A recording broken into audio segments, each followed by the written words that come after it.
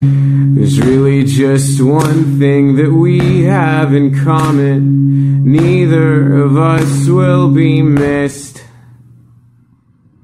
St. Bernard sits at the top of the driveway